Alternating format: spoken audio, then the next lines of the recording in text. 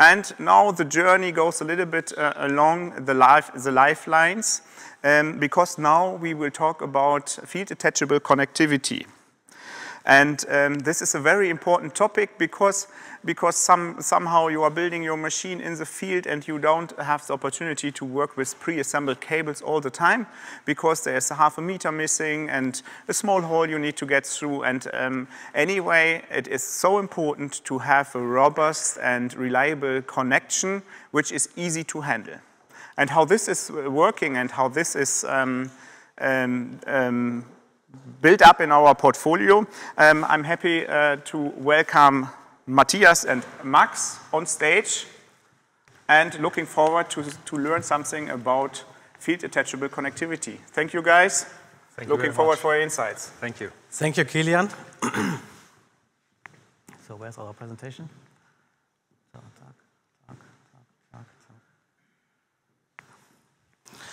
So, hello, hello everyone. Welcome to the next session.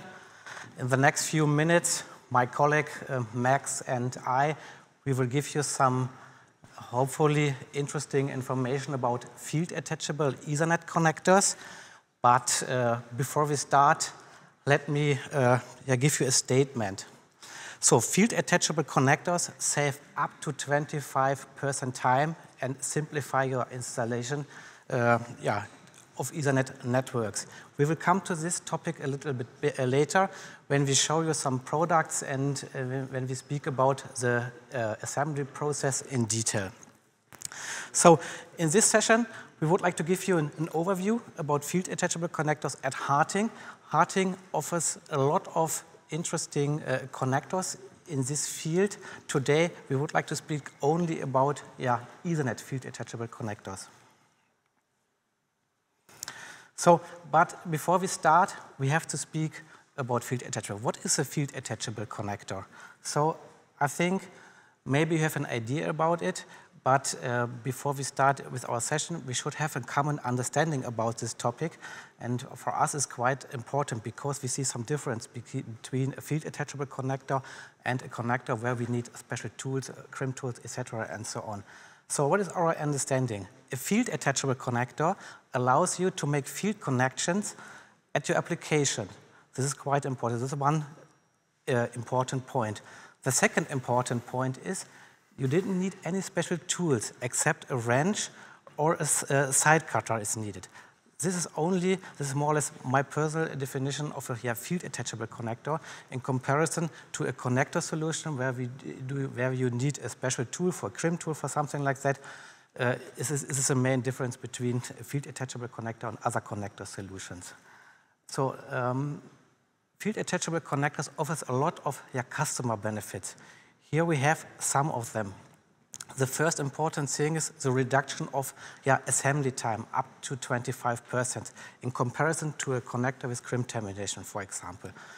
A further uh, huge, big benefit for the customer is this helps to simplify the installation because we have less single components.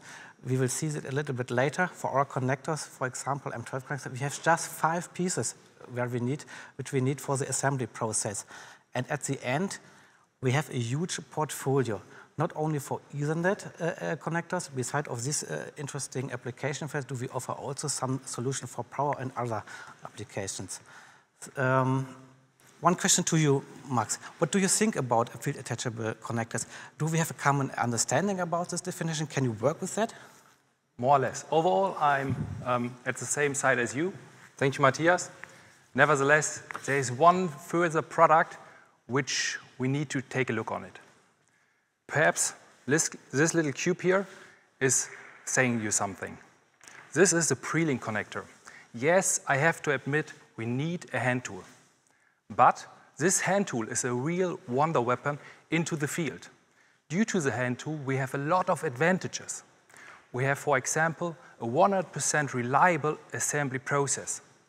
Furthermore, we have a fast and easy handling and last but not least, we have a flexibility with the pre-link, which no other field assembly system have. So this we take a look as well in this session, but before I go into the details of pre-link. I'm very happy that I can give back to Matthias, who will show you now the M12 and M8 HARAX system. So back to you, Matthias. Yeah, thank you, Max. So we talked about field attachable connectors, and uh, I told you that Harting offers a huge uh, variance of, of, products.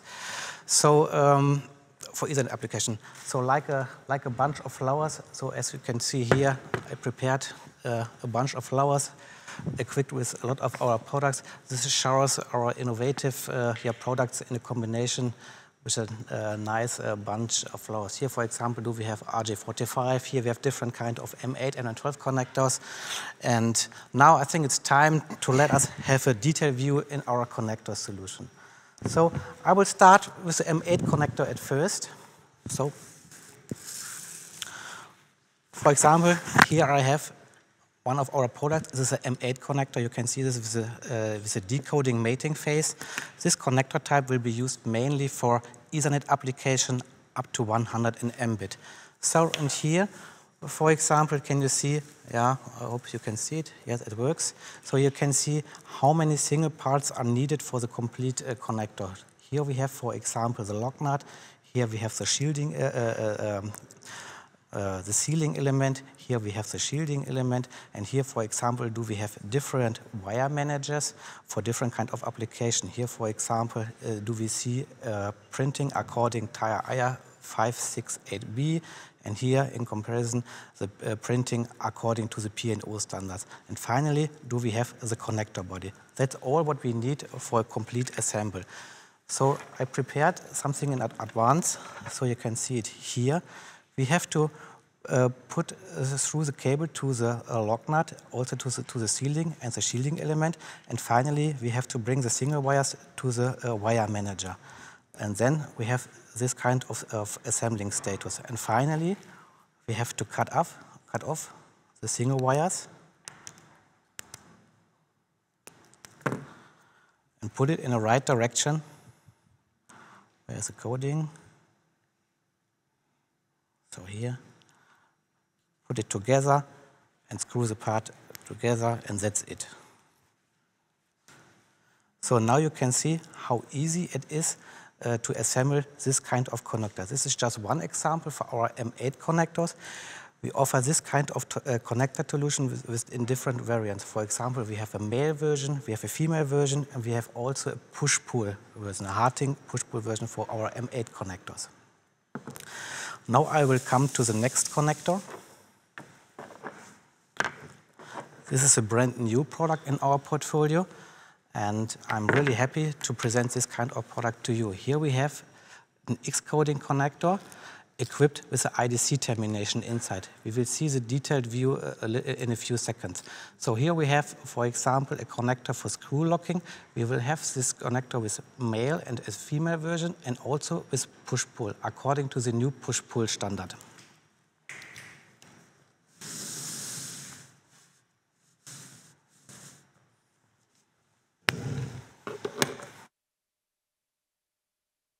Component which we need for the which we need for the um, M12X coding connector. Here we have also a lock nut. Here we have a different kind of, of, of sealings. We can cover a, a cable range from 5.1 up to 11.2. Here we have yeah, uh, um, the sealing carrier. And here we have a new complete part. This is our shielding element combined with a wire manager. And finally, we have four different versions, male, female, and the push-pull version, male and female, according to the new push-pull standards. So in comparison to the M8, do we have a complete new uh, yeah, wiring system, wire managing system. So we have put through the cable also uh, through the sealing system and also through the wire manager. And here we can see the main difference. We have, we have to uh, dis dismantling the cable and we have to put all single wires in the separate uh, chambers. So here you can see also we have enough space uh, uh, for crossing if needed. And this connector solution can be used finally up to 10 gigabit data transmission. So, um,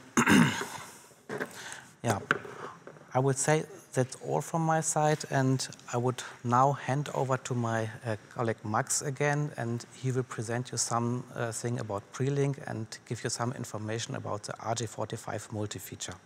Thank you for your attention.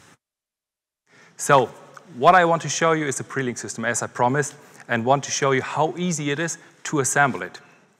And for this, we, or I prepared some steps here. First of all, of course, we have the cable, the cable preparation. It is always the same. Ah, now I have to check that is in the right field. So um, we have the cable preparation at the first step. And that the pre-link is very easy, um, or the reason why the pre-link is very easy to assemble is well this little cube here.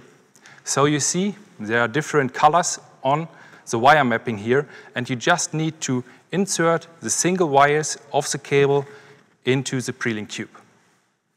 Due to your value time, I prepared this step already. So you see here the pre-link cube, which is now onto the single wires, and I always drill the end here so that we have a good fixation of the pre-link cube. Furthermore, I put the wire mapping off, and now the, the, the step comes where we need the hand tool, the wonder weapon for this pre-link. We insert it, and now you will see that on one side we have the IDCs which cuts into the single wires, and at the same step, simultaneously, the end of the cables will be cut. So, so easy it is to have a final pre-link cube. And now you have a high flexibility to put this pre-link cube in all kind of different connectors. I want to show you some of them. Here, for example, okay, we can take this camera. Oh no, this camera. So here, for example, we see different solutions like M12 X-coded, M12 D-coded, but as well different RJ40 solutions as well as a hard push pull, for example.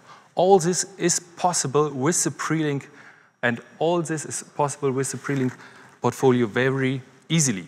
So you just clip in the pre-link tube into the single uh, connectors and that's it. And we have as well a solution which going from the wire to the PCB directly. So, and how this looks like, I want to show you as well, of course. So, we have here a prepared cable. As I show you uh, at the first step, we have the pre-link here, and now we just simply connect it, click it in, close it, and that's it. So easy it is to assemble the pre-link. And we heard Fluke before. And I am very happy to have Nigel as well on the stage, and he will show us how good the performance is now with the pre-link, with the just assembled cable. So, hi Nigel. Hi, thank you for inviting me back. Ah, you are welcome. I'm very happy to be here. Me too. So what do you think? What performance does it have? Shall we bet on better than, uh, better than gigabit Ethernet? Yes, of course. Okay. So it's measuring. It's measuring, and here you have better than gigabit, better than 2.5, better than 5 gig, good for 10 gigabit per second Ethernet. Perfect. So thank you. Can I have this? Yes, of course. You can, you can take it. You, for, for, your, for, for your private house or something? Absolutely. Yeah. I, I will use it um, in my office. Oh, perfect. Thank you, Nigel. Thank you. So you see how easy assembly of a pre-link works. But of course, I know as well, some of you say, hmm, I don't like a tool. And if you don't fall in love with the pre-link now, I have as well another solution. And let's start with some questions. So the first question would be, do you like to cut single wires when you assembly an RJ45? I think no. The second question would be, um, if you like to assembly faster. And I think there is the answer as well clear, yes, of course. And therefore we have the RJ45 multi-feature in our portfolio. So here as well, we have at first the cable preparation. We have here the cable, and then we just put out the wire manager out of the RJ45 multi-feature, and we see as well here the wire mapping and how easy we can insert the single wires into the wire manager. And I prepared this as well, and this looks like this in the end. And now it's very easy to put everything together. We just click in the wire manager into the connector, and then we close the connector. And if you're strong enough, of course, just have the power to do it, but it always depends as well on the cable and of your strengths. If it's not working smoothly, you just take a simple uh, plier to help and close the connector. While this, we can as well close the cable gland at the end. So just put it on and wait a second. I tighten it a bit, put it on and screw it. So now it looks a bit unfinished. And here the big advantage comes. You just need to pull out the single wires of the multi-feature and you are good to go. This is how easy this RJ45 multi-feature works. And I also want to show you why this is and why this is so easy. I brought a picture. I hope the camera can um, see it. Ah, perfect. So let's move it. So this is the inside of an RJ45. And we see the blade, uh, the blade in the back.